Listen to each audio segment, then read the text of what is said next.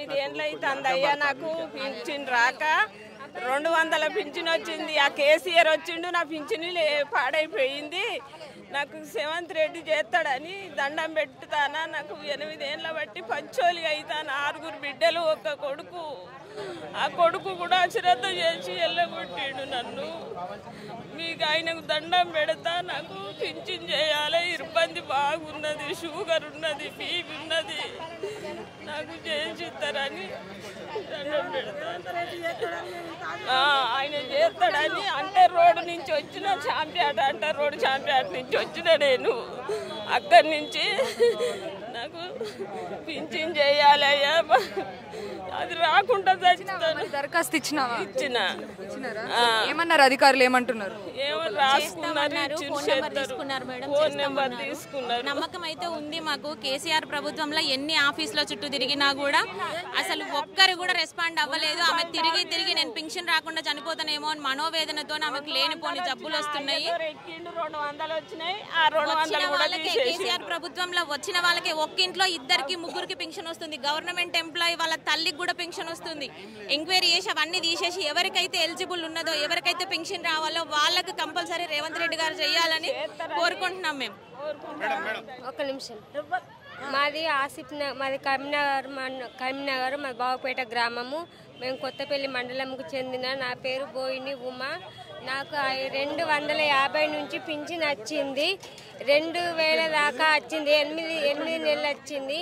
ఈ కేసీఆర్ వచ్చిన సుంది నా పింఛన్ బంద్ అయిపోయింది. నాకు అమ్మ లేదు నాన్న లేదు నా భర్త కూలి పని చేసి సాస్తాడు. నన్ను నా చేయి లేవడం లేదు. నేను తిరిగి తిరిగి ఆరు సంవత్సరాలు తిరిగిన ఆరు సంవత్సరాల నుంచి కూడా ఎవరు కూడా నాకేం చేయలేదు. మండల ఆఫీసు కలెక్టర్ ఆఫీసు జిల్లా పరిషత్ ఆఫీసు ఇవన్నీ తిరిగిన సార్ దయచేసి మీ మీ వద్ద దగ్గరికి వచ్చిన సార్.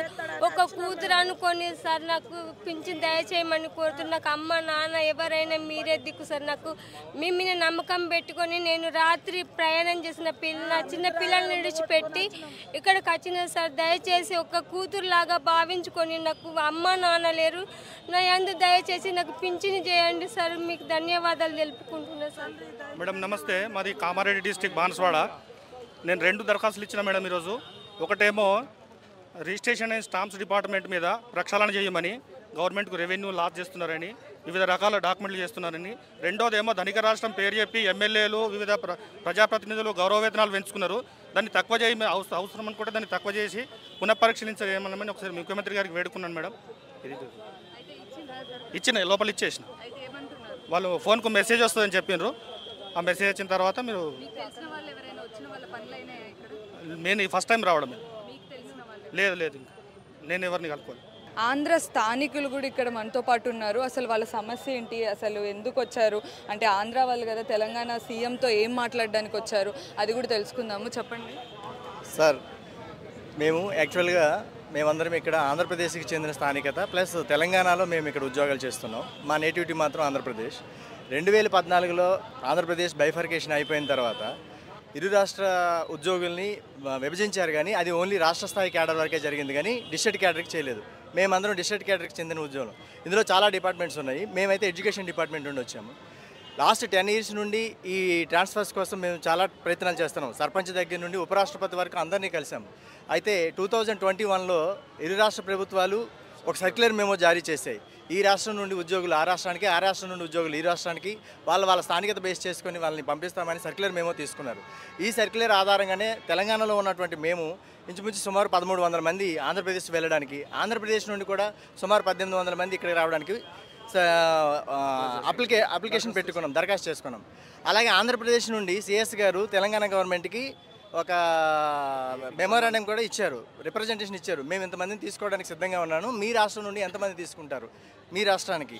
ఇది మీరు తెలియజేస్తే మేము ఈ కార్యక్రమం కంప్లీట్ చేస్తామని అనుకున్నారు కానీ తెలంగాణకు వచ్చిన తర్వాత ఆ ఆ ఫైల్ ఇక్కడే ఉండిపోయింది ఇప్పటి వరకు కూడా. ఎప్పుడు కూడా దాన్ని అసలు యాక్సెప్ట్ చేయలేదు. అయితే చాలా ప్రయత్నాలు చేశాము.